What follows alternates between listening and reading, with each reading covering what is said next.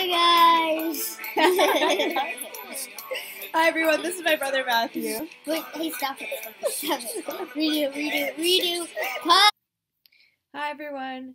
I hope you had a good uh, Thanksgiving break, um, and I'll be talking about our new unit, which is on cellular reproduction.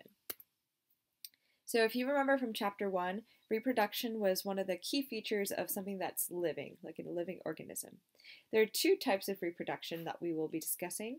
Uh, the first one is asexual reproduction. Um, this is when the parent cell um, genetically replicates its its chromosomes and its DNA, and then divides into two daughter cells, which are exactly the same as the parent cell. So the two daughter cells are identical genetically and in all ways to the parent cell. The other form of reproduction is sexual reproduction, and this is when a parent cell divides in half to two daughter cells, and it, each of the daughter cells ends up with half of the genetic material as a parent cell and is not the same. Um, and we'll discuss later how those daughter cells, when they recombine with other um, daughter cells, they can actually lead to a lot of genetic diversity.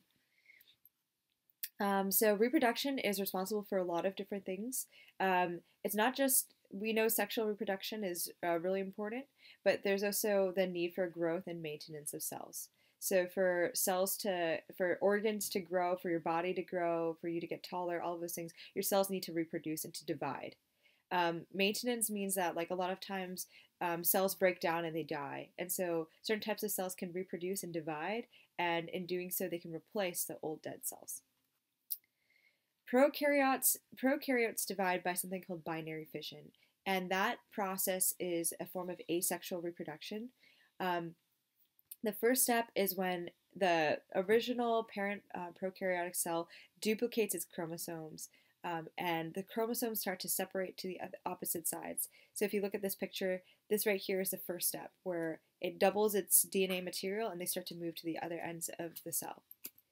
Um, the cell continues to get very long. It elongates to about double its size.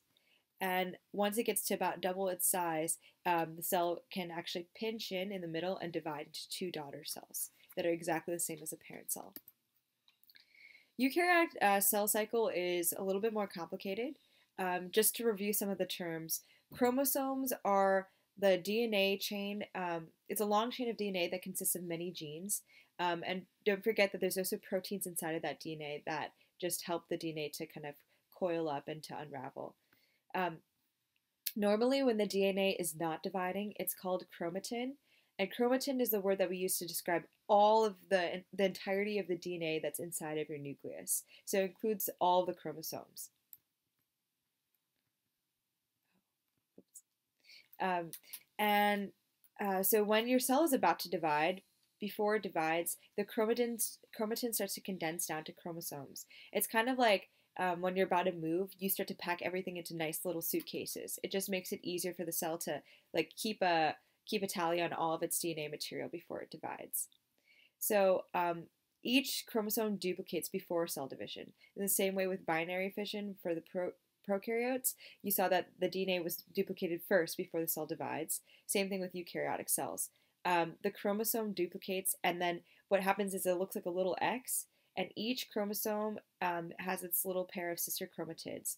Those are the two copies of chromosomes. And these two copies of chromosomes called sister chromatids are connected uh, together by something called the centromere. So when do cells divide and um, uh, how do they divide? That's what we what we will be talking about. Um, the frequency of cell division really depends on the type of cell and where it is in its uh, cell maturity. Um, some cells don't divide at all. So, like mature heart muscle cells, um, your nerve tissues, a lot of them don't divide when they're at mature when they're at their full maturity. So that means that if you damage them, you can't really replace them. But other cells, like your skin cells, reproduce all the time to kind of replace the things that have been lost. So, the cell cycle is the word that we use to describe um, the entire process of the cell life from when it's first formed until it, it's about to divide, until it finally divides into two daughter cells. Um, there are two major parts of the cell cycle. The first part is the growing stage. Um, this is the longest part of the cell life, and it's ultimately uh, it's called interphase, and it's when the cell just keeps on getting bigger and bigger and bigger. Uh, it duplicates all its organelles and it duplicates its DNA during this time. Um, the second part is called the mitotic phase, which is when the cell ultimately just divides. This right here is a diagram to show you um, those two phases. You can see here how interphase is really long. It's the majority of the cell life, and it encompasses three smaller parts, which we'll talk about in just a moment. And then the mitotic phase, which is when the cell, the DNA divides and then the cell divides. Um, that's very short. So as we said, interphase, that's when the cell is growing. Um, this is when metabolic activity of the cell is really high, which just means that that's when the cell um, does all of its normal functions and it, it ends up doing it, you know, to its, yeah, it ends up, you know, uh, producing proteins and uh, doing everything that it's supposed to be doing. Um, mitotic phase is just when the cell is dividing. So in interphase, um, the cell duplicates its chromosomes, and that's probably the most important thing you need to know. Um, there are three major phases. G1, called first gap, is just when the cell continues growing. The second part is S phase, and that stands for synthesis. This is when this DNA is actually uh, replicated. So it's duplicated in S phase. And then after that, then the cell continues to grow even bigger. So G1, S, and then G2. Um, all three of these phases, the cell is growing, but with S, the major thing is that its DNA is getting replicated. Afterwards, it go the cell can go into the M phase, which is my, mitotic phase. Mitotic phase includes two parts. Uh, mitosis is just the division of the nucleus and the chromosomes. So it's the division of pretty much the DNA and the genetic material. And then cytokinesis is the actual division of the cytoplasm and the entire cell. Um, you are responsible for knowing the different phases of cell division. Uh, it is a lot to kind of know, so I would recommend making flashcards for this so that you can remember all the little details. Uh, as a recap, in interphase, uh, by the end of interphase, at the end of G2, you should be have you should the cell has double the amount of DNA that it actually needs, and the DNA right now is in the chromatin uh, form. It's not in actually condensed chromosome form. Um, in the beginning of cell division, in the beginning of mitosis, the very first phase is prophase. Um, this is when you start to see the chromatin starting to condense and get packaged into chromosomes. And it's it's kind of just easier for the cell to manage uh, and divide its DNA material when everything is like nicely coiled. Um, the nucleolus, remember that's the dense part in the middle of this nucleus, that's uh, starts to disappear in this phase. Um, and you start to see something called mitotic spindles being formed. So mitotic spindles, uh, which are made of microtubulin, uh, are formed from the centrosomes. Um, just be careful of the terminology because a lot of the words sound similar. Uh, centro, centromeres are the center of those sister chromatids, right? But the centrosomes are what form this mitotic spindle, which will ultimately help pull apart the, the doubled DNA. So this is prophase. Um, in prometaphase, this is the phase kind of in between, you see the nuclear envelope around the nucleus completely dissolves.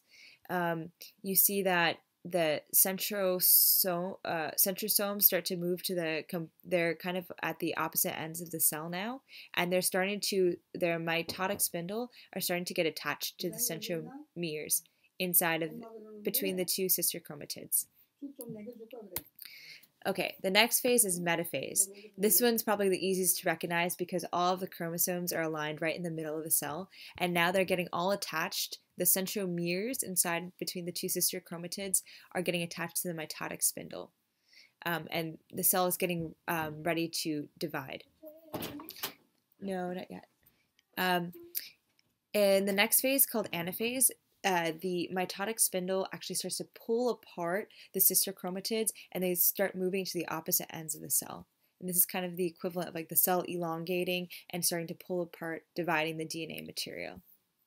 In telophase, um, remember my, the mitosis is just for the division of the nucleus and the cell um, and the DNA material. So in telophase, the last part of that, um, you start to see uh, the nuclear envelope starts to reform around the two, um, now two separated amounts of DNA, and then the chromosome starts to decondense back to chromatin. And then you also see the reformation of the nucleolus for both of the two daughter cells. Um, so that's the end of mitosis, which is the division of cell material, the genetic material, and the nucleus. At the same time, uh, cytokinesis starts to overlap, and cytokinesis is when you actually divide the cytoplasm in the entire cell into two separate cells. So that kind of happens at the same time as telophase, and you can see that by the end of cytokinesis and telophase, you have two separated cells. So that's the end of this lecture series. Um, I hope you enjoy, and if you want to, yeah, thanks so much. Victoria does have a secret. okay, X that, X that, X that. How about we make silly faces here, ready? Maybe you should know that my mama don't like you and she likes everyone. And I Goodbye. never like to Goodbye. get on